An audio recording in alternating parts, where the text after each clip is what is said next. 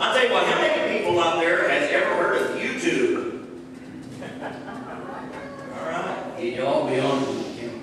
Yeah, probably will be, but, you know, there's, uh, a lot to say about YouTube. You can find about anything you want to on there. You, you can go on there and, uh, it's, it's really bad for my business because you go on there and learn about anything that you want to learn about, you know? Whether it's a song that you want to know how to pick or a puzzle that you want to put together, you can find it on I solved the Rubik's Cube. You solve the Rubik's Cube Well, the guy on YouTube solved it, I watched him and followed. and followed along. with it. Well, I'll tell you something that, uh, that we've done. We went down to Chris's house because Chris is the YouTube man.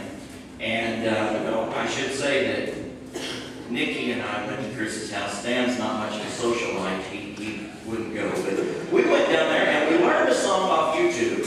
And, and that's what we want to do for you here. And we put it together just exactly note for note as we watched it down at Chris's. And uh, we- it was, it was a lot of work and we've got together and we hope that you'll enjoy it. Are you ready, guys? Yep.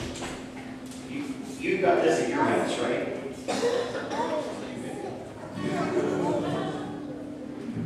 You had to turn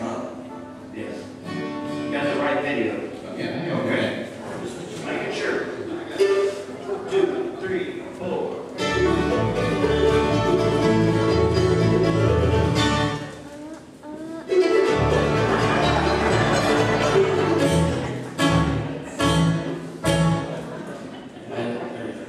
Connection when we did this.